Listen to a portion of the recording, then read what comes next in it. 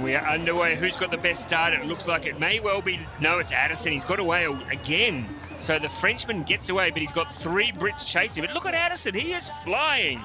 Oh, though, it looks like Leaver going under him. Leaver trying to get under him. Oh, it's been very close. On the opposite side of the course, the two Brits there, Clarke and Dixon, getting each other into big trouble. And Joe Clarke's had to go back for a gate, so Clarke is out of the race. It is Addison in front, Leaver chasing him down. Johnny Dixon also stalking them like a big hyena chasing after a wildebeest. But it is in front now. Addison still, Leaver chasing him.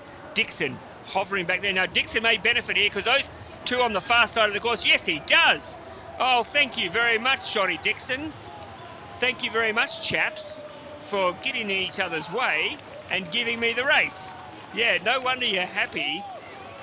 Addison and Leaver went to the same side of the course and got in each other's way, and Johnny Dixon just says, thank you. That is, would you like a side of fries with your plat de jour? because you are gifted the gold medal here. Clever, though. That is clever from Johnny Dixon. Sitting in third, he would have seen the two blokes in front of him go to the same side of the course. So, of course, he goes to the other side of the course, had the race to himself, and Johnny Dixon takes the gold. Addison takes the silver. Sam Leaver takes the bronze. And the man that misses out on the podium yet again was Joe Clarke. Look at Addison's speed off the block. So here he is, clearly in front. Sam Leaver chasing after him. Johnny Dixon. And Joe Clarke there. What happened here? So Clarke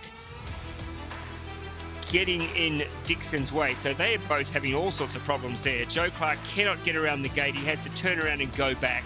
Meanwhile, Gail Addison and Sam Leaver head off to have another battle out in front. So Addison and Leaver here. Now, here was the opportunity to go to opposite sides of the course as they come down to the last upstream gate, but they go